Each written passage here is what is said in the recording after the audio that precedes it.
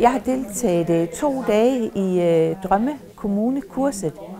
Det har været meget, meget fantastisk. Øh, første dag, øh, der havde jeg lidt svært ved at se, hvad, hvad er det egentlig, man skal bruge det her til. Øh, og så anden øh, dag, øh, der var det ligesom, der faldt det hele på plads på den positive måde.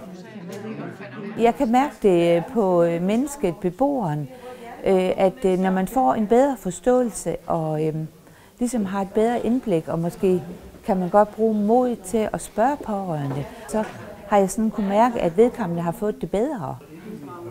Inddragelse af pårørende, ja. Det var lidt af den, du havde med, ikke? Det jeg oplever, når vi har været afsted, øh, det er, at jeg kan høre, at vi har en anden, øh, der er et andet sprog. Der er et øh, anerkendende sprog. Der er smil på læben. Der er energi øh, på en helt anden måde. Jeg kan mærke, øh, at det kører. Øh, vi har en, et godt drive. Når jeg møder glad ind på arbejde, så, øh, så giver jeg også beboerne en helt anden start på dagen. Øh, de spejler sig i os. Så, så den bedste måde, deres dag kan starte på, det er, at vi møder glade.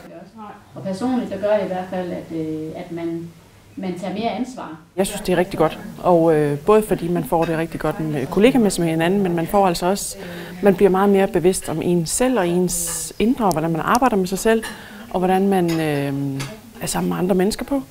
Altså, at man hele tiden husker øh, på, hvorfor den borger reagerer, som hun gør, hvorfor den kollega siger, som hun gør, hvorfor...